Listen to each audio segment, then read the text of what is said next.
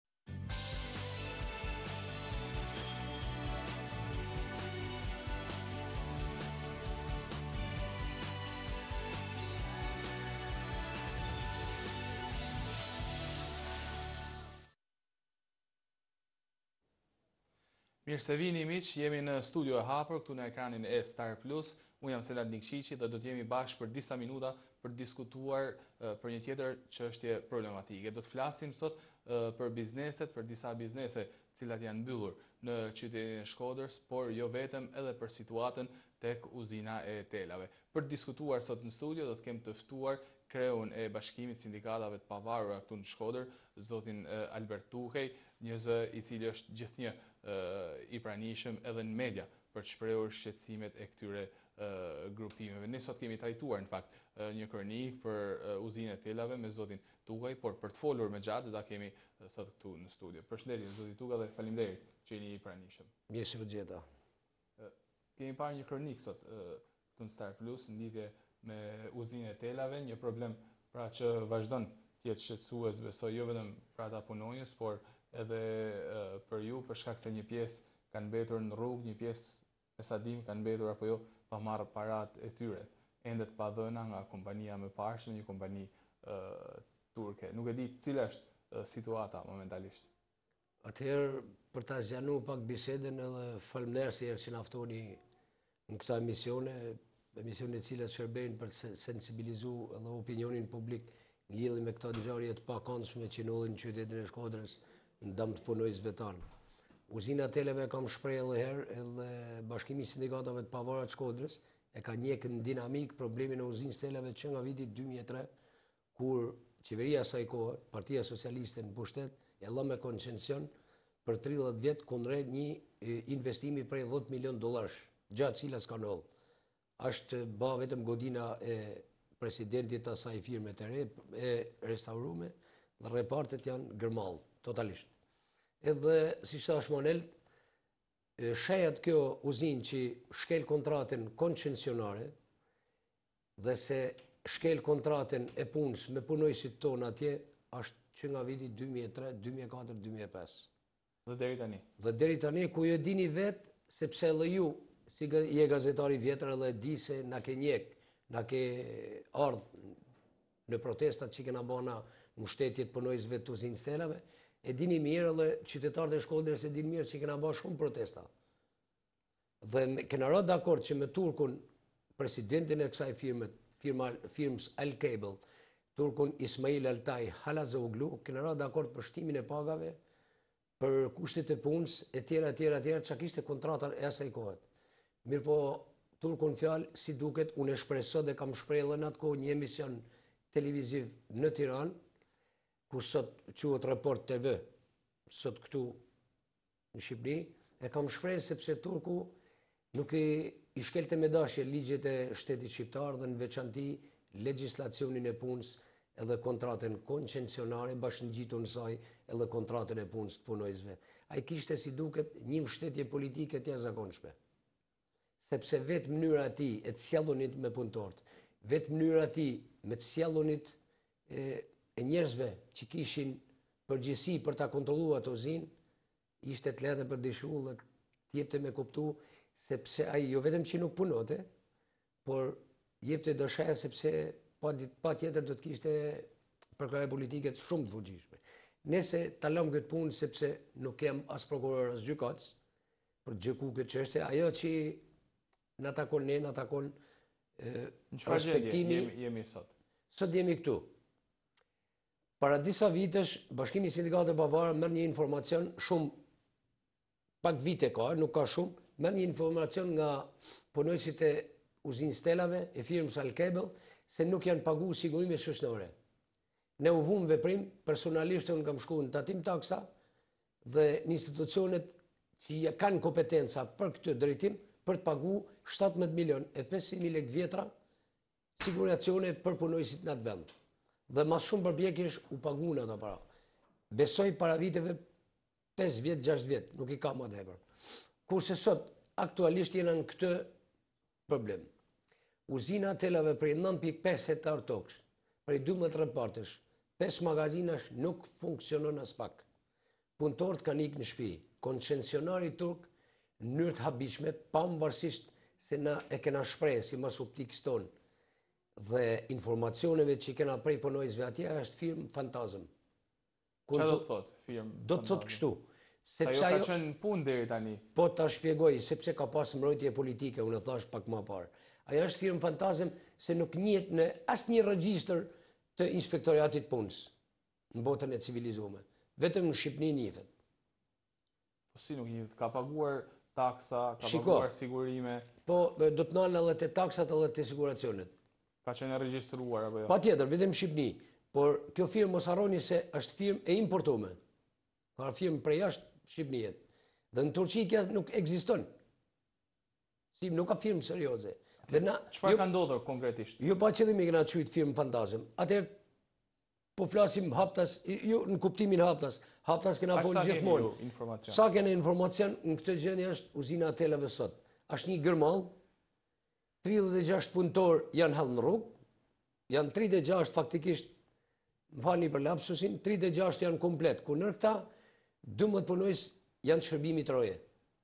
Pra janë 12 roje për shkak të hapsinës madhe, territorit madh që ka ish uzina e telave. Janë aktualisht sot vetëm 12 roje në punë. Ku rujnë uzinën pa u shkat, pa u shkatru totalisht, pa pagë. Nuk marrin pagë as sigurim shoqnor. Në këtë rast... Po si rrinë n'punë kur nuk marrin as pagë as sigurim? Po jua shpjegoj. Si pranojnë? I motivojnë me premtimet. Po jua shpjegoj edhe këtë. Në bazë të informacioneve që kena prej punonjësve të ish uzinës telave, qeveria shqiptare e ka marrë institucionet e shtetit shqiptar e kanë marrë uzinën n'ngarkim ka tre muj kjo histori. Dhe se ju ka premtu punonjësve se pagat deri në 6 muj do t'jau paguj qeveria shqiptare, gja të cilën s'e ka ba. Po, ka një drejtor tjetër, momentalisht. E para, jo aty. Po pra, tek uzina e telave ka një drejtues të ri. Po. Edhe është një përfaqësues i shtetit që quhet drejtor sot. Dhe qeveria shqiptare nëpërmjet të deleguemve të saj, nëpërmjet institucioneve të saj që kanë bashkëbisedu me punonjësit atje, ju kanë thënë, janë shprehë se shumë shpejt qeveria shqiptare, institucionet do t'ju paguajnë pagat. Po sa paga kanë pa pa marrë në total? Sot për sot, unë jo pa qëllim e ngrita sot sepse besoj e dini, dje ka kenë shtatë tetori, ka kenë dita ndërkombëtare e punës denjë, e një page denjë. Edhe shpreh keqardhjen edhe gjendja në uzinën telave është jashtëzakonisht e dhimshme. Dhe ata kanë 18 mujë, po hinë 19 e në vazhdim pa marrë pagat. pa sigurime shoqnore, dhe në këtë rast unë edhe një shkresë që e kam ba tash vonë, i kam kërku institucioneve si ka mundësi tashti kryeministri i vendit, ekzekutivi shqiptar, nëpërmjet institucioneve tyne, i kërkojnë këtyne punëmarrësve, këtyne punonjësve, taksat siç janë faturat e energjisë elektrike, të ujit apo taksat tjera që janë në në në me vendim qeveriet apo konform ligjeve. Pra unë nuk e kuptoj se si një punonjës i uzinës telave ka lek me pagu dritat kur është i papunë. Nuk ka sigurime shoqnore dhe nuk përgjigjet askush për te.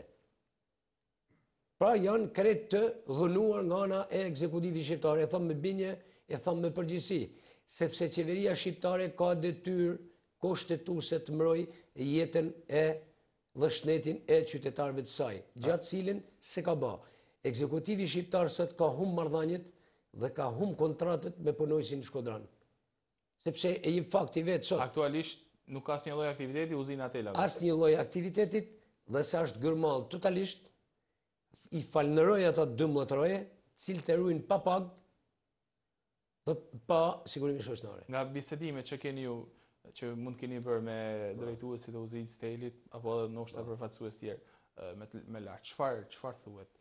Thuhet Do t'i marrin ato paga, do të rinisë puna atje, do të ndryshohet, do të vijë një firmë tjetër, çfarë pritet të ndodhë me uzinën e telave? Senad, në një të ardhme të afërt, janë premtimet që unë nuk besoj personalisht, le ta besojnë kush dojnë, qeveria shqiptare ju ka premtu pra ministritë përkatëse, ju kanë që mbulojnë uzinën e telave, ju kanë premtu pikërisht zëvendësministri, Ju ka premtu se do të merrni pagat gja të cilën s'e ka ba, do të paguhen sigurimet shoqnore gja të cilën s'e ka ba, do të merrni gjashtë muj paga gja të cilën s'e ka ba, asnji gja, asnji gja, asnji gja, ça është premtu deri më sot që po flas unë me ju nuk është ba kurrgja.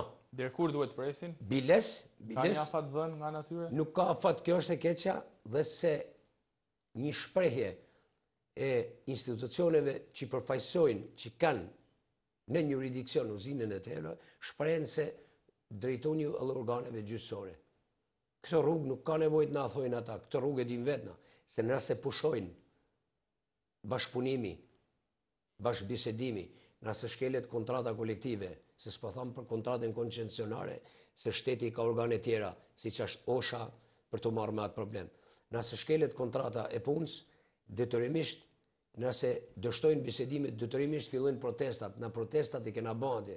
Detyrimisht do t'i drejtohna gjykatës sepse fatmirësisht kodi i ri i punës e përmban që edhe pse i ka kalu afati këtyne punonjësve, se e dini ju se afatet për t'iu nënshtru gjykatave mbarojnë, mirëpo fatmirësisht kodi i ri i punës i dy mijë e shtatëmbëdhjetës që ka dalë vjet e përmban këtë dhe nëse ka kalu afati i punëmarrësit pa ba denoncimin n'gjykatë Është i lejushëm që të bëjë denoncim në gjykatë edhe mas marimit të afatit, pra, këta janë pa paga, këta du të bëjnë, du të mbledhin firmat, ju kam bërë thirrje gjithë punonjësve, të mbledhin firmat, dhe t'i drejtohen gjykatës. Dhe t'i drejtohen gjykatës. Dakor. Jam i bindun se gjykata do t'ia japë të drejtën, se janë me të drejtën e zotit, dhe kontrata e punës, e punëtorëve shkelë katërcipërisht. Ku janë këto 24 punonjës tjerë që kanë qenë aty dhe që tashmë kanë mbetur pa punë. Punojnë diku tjetër apo po janë mes rrugës, sepse besoj duhet të jenë gjithë familjarë apo jo. Shiko, ata janë gjithë familjarë edhe janë në gjendja ekonomike e tyre, unë disa prej tyre i njoh edhe personalisht. Gjendja ekonomike e tyre është ma za ma keq. Kanë arritur të gjejnë një punë tjetër apo janë pa punë? Nuk kanë gjetë asnjë punë tjetër se për shkak se rrinë me shpresën se po rikthehen në punë. Po unë them sot, uzina e telave nuk hapet sot. se ka shumë procedura për t'u hap uzina e telave. Shteti e ka marrë në dorëzim ekzekutivi shqiptar dhe ka ka dërgu përfaqësuesin e saj. Por ti për ta rivënë në punë uzinën e telave duhet shumë mund e punë e djersë. Edhe investim besoj. Edhe investim patjetër, sepse se na po të hini në ambientet e mbrendshme, ju do të habiteni se në ç'gjendje ka përfunduar uzina e famshme e telave. Prej miliona dollarë që janë shpenzu në atë uzinë, vetëm gërmadhë janë kthy. Që dikur ishte... Që dikur ishte pararojë... Një fabrikë, mund ta themi prodhuese shumë e mirë apo? Shumë e mirë, shumë e mirë, madje mijëra punëtorë mbrenda. Sot s'ke. Në kontratën, kam pas shansin të pajisem me kontratën koncesionare mes shtetit shqiptar dhe Turkut Ismail Altaj, thuhet një në nenet e saj thotë, me me fillimin e punës, koncesionari turk zotohet dhe ka për detyrë të rrisë numrin fuqinë punëtore në këtë uzinë. Në atë moment kur turku mori uzinën e telave, ishin njëqind e pesëdhjetë e gjashtë punëtorë. Dhe sot, dhe në atë moment ai që mori uzinën e telave, ju e mbani mend mirë, kena ba protestë, kurrë s'e harroj katër shkurt dy mijë e tre, ku ai largoi nga puna, dhe sot ka tridhjetë e gjashtë punëtorë. ku fatkeqësisht është edhe kjo tjetra, në atë uzinë u dojshin mjeshtrat u merrshin për të prej pemë, për të prej ferra. Pra, nuk ishin në në profesionin e lejës. Edhe me gjithë zanin që kena çu na, me gjithë shkresat që kena bë, me gjithë protestat që kena bë, ekzekutivi shqiptar nuk e ka lujt hapin. E, të gjitha shkresat që kena bë na, Për të zgjidhjen e problemit në favor të punojësve të Uzinës Telave janë në sirtarët e harresës të institucioneve të shtetit aktual shqiptar. Dakor. Shpresojmë që situata të ndryshojë për mirë. Diskutojmë edhe diçka tjetër së bashku. Para pak ditësh kemi patur një tjetër kronikë me rreth njëqind e njëzet biznese, diçka e tillë, që janë mbyllur në qytetin e Shkodrës për shkak të rënies së fuqisë blerëse, por edhe presionit nga kontrollet e shumta nga tatimorët. Si është situata tek bizneset? Ka vërtet biznese që mbyllen çdo ditë në Shkodër? Fjalën e fundit po e them të parën, në bazë të informacioneve që kena se na në sindikatën e pavarur të rajonit t'Shkodrës kena edhe degen sindikale si quhet Sindikata e Pavarur e Tregtarëve të Bashkuar, pra që është biznes i vogël. Dhe në bazë të informacioneve që kam, Kam marrë dy lloj informacionesh, por të dy janë të këqij, negativ, normal, se në Shqipëni s'ke informacione pozitive, dhe s'ke lëvizje progresive këtu. Çfarë informacionesh? I pari ishte sepse në harkun kohor prej pa u ba tre muj, janë myllë 120 biznese. Kurse në rang republiket, le ça flitet atje, por na kena kryetar sindikatash në çdo biznes të vogël. Janë afro pesëmbëdhjetë mijë biznese të vogla që janë mbyllë. Gjithë Shqipërinë. Gjithë Shqipërinë. Rreth njëqind e njëzet në Shkodër. Tre muajt e fundit në Shkodër. Pra, këto biznese... Dhe sa mund t'jenë gjatë gjithë vitit, që nga janari? Po, të kuptoni vetë, tashti ju. Na po t'ulena të marrim informacione dhe t'i japim n'mënyrë t'detajume, dalin ma tepër. Këta janë myllë për shkak se, shikoni, gjithë problematikën që ka pas biznesi i vogël, Bashkimi i Sindikatave të Pavara ka ba takime zyrtare me institucionin, me drejtorinë e Tatim Taksave në Shkodër dhe pikërisht me drejtorin Hysen Hysa, që për hir të realitetit dua ta falënderoj për gjithë takimet dhe bashkëbisedat bashkë dhe mbështetjen që na ka dhënë për zgjidhjen e shumë problemeve. Por jo gjithçka mvaret në Shkodër, duhet të kuptojmë. Pse mbyllen këto biznese? Sepse nëse marrim me këtë përllogari i bie që nga janari diku te rreth treqind biznese në Shkodër. Patjetër, po normal. Që në fakt janë Një numër i lartë nëse është e vërtetë. Si jo, si jo. Dhe se... Janë 300 biznese, dhe se, janë 300 familje. Se na, kjo asht ma e keqja se kjo ndikon, ndikon ka, ka efekte anësore negative t'jashtëzakonshme, sepse gjithë ata biznese që kanë fil, falimentu për shkak të rënies fuqisë blerëse, shtimit varfnisë, Shtimit të papunësisë, taksave të rana që ka vu qeveria shqiptare, gjobave që kanë marrë në mënyrë edhe të pavetëdijshme, në mënyrë edhe joprofesionale nga oficerë të tatimeve, sjellja brutale e tyne ka sjellë në falimentin e e konkurrenca e pandershme ka sjell falimentin e këtyne bizneseve të vogla, e cila është kthy lloj bumerang për mu, për ty, për gjithë qytetarët e Shkodrës, pse e tham? Sepse gjithë këta që kanë falimentu trajtohen në skemën e lëmoshës, siç quhet skema e ndihmës sociale. Pra, paguhen nga taksapaguesit shkodranë, nga taksapaguesit shqiptarë. Pra, rrit gama e pagesës të ndihmës sociale a përkrahjes sociale si quhet ja sepse kanë kenë biznese simas meje biles edhe kështu do të ishte edhe drejtori i tatimeve një mend me mu për shkak se i kena kontrollu janë gjithë sigurum kanë kenë gjithë sigurum gjithë me letra të rregullta. Pra, ne flasim për biznese vetëm të vogla që janë mbyllur apo ka edhe të mesme apo biznese të mëdha? Po unë flas për biznesin e vogël që bashkëpunoj në mënyrë më të shpeshtë, më të shpeshtë me ta. Dhe se a ba shkak pra që këta kanë dalë tanë në asistencë.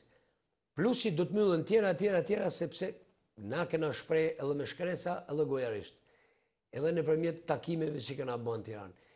Ekzekutivi shqiptar Ndoshta me dashje, ndoshta pa dashje, nuk e shikon biznesin e vogël si biznes social, si biznes familjar. Dhe ai du çlirohet nga taksat. Në vend si ti ta çliroj, ai e eliminon. Ndoshta është edhe për shkak të konkurrencës.